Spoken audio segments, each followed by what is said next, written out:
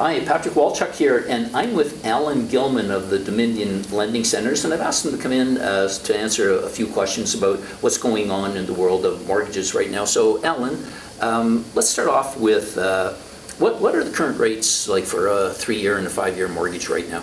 Sure. Um, so the three-year mortgage rate right now is in the low fives. So we're seeing 529, 539. And the five years are are 489, 499 at the moment. Okay, so just a tad under 5%. Yeah. Now, if you were sitting down with a young couple and they wanted to take out a mortgage today, they just found their dream house, that kind of thing, well, what, what would you advise them to do? I, I, would probably want to get a sense to how they feel about affordability and could they sustain um, a bit of fluctuation. I, I, don't think it makes sense right now to do a short-term mortgage being one or two years, only because everybody's expectation of rates are coming down. And those, those terms are very expensive still. I would probably encourage a three-year mortgage. There's a lot going on in the world, as we know, and we need to see some stability to see mortgage mortgage rates stabilize and and come down and all of that good stuff. A three years not a bad amount of time to see all of the things um, normalize, and then at the end of the three-year term, most likely you're renewing into a lower interest rate. The five-year, you'll get a lower rate, you'll have a slightly lower payment, but I think that a lot of people are probably going to find themselves in two to three years uh, in a in a 499 mortgage perhaps with those rates in the in the three three and a half percent range if what is expected actually transpires so there's not a there's not really a wrong answer. Um, it's really up to each individual. So I like to just outline both options and and whatever works for the client. I don't think they're making a mistake either way. Okay. Um, I have spoken to uh, a number of people who asked me about it, and I'm probably the last person you should talk to about mortgages.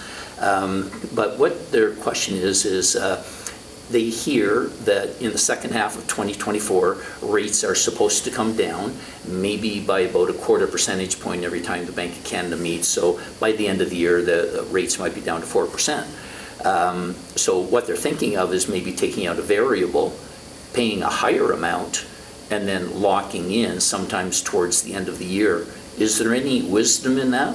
What would you say to somebody like that? You know, I think I think there's a lot of wisdom to it. Um, in fact, I haven't had anybody want a variable rate um, for the last couple of years, but I had one last week. Oh. And this particular client was was well tuned in to what's going on and is confident that taking the variable rate, and he took one at um, I think it was 6.7 sorry, 6.2%, Patrick, okay. which is obviously higher than you could get on a three-year or five-year fixed rate. But his thinking is like yours, um, and I and I agree as well. The rates are going to come down. The variable rates are completely uh, out of sync right now. They're higher than fixed rates. They've been going up steadily for almost two years if we're going to see a drop, we're going to see the fastest drop on those.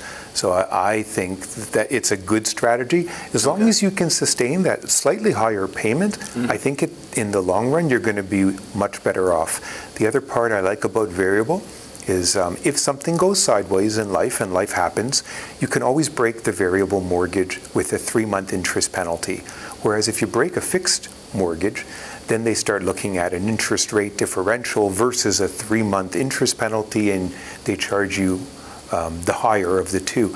So the variable is is probably a, a very safe play at this point. Good point. Yeah, so I, I was totally in support and it was actually encouraged uh, to see that happening again. I myself have a variable rate mortgage. Mm -hmm. I've suffered through it over the last year and a half, two years, but I, I did so because I believe it's the right mortgage and it, it will come down. Okay, so kind of in summary, you would, you, you, you would say that you would advise somebody uh, uh, basically on an individual thing what, what they're comfortable with if somebody wants a, a guaranteed, uh, secure amount of money, they know what they're paying every month, and you might recommend something like a three-year. Otherwise, somebody could do what we just talked about. Absolutely. It's very individualized. It's very individualized. I really don't think you can, I always tell people, I don't think you can make a mistake right now because nobody knows what's going to happen.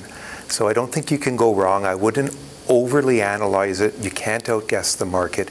Do what you're comfortable with for you and for your family, and I think that's always the right decision. But we definitely have some options that we can put in front of you to look at. Okay, thank you. And once again, folks, that's Alan Gilman with Dominion Lending Centers, and you can give him a call at 613-552-1572. Thank you for watching.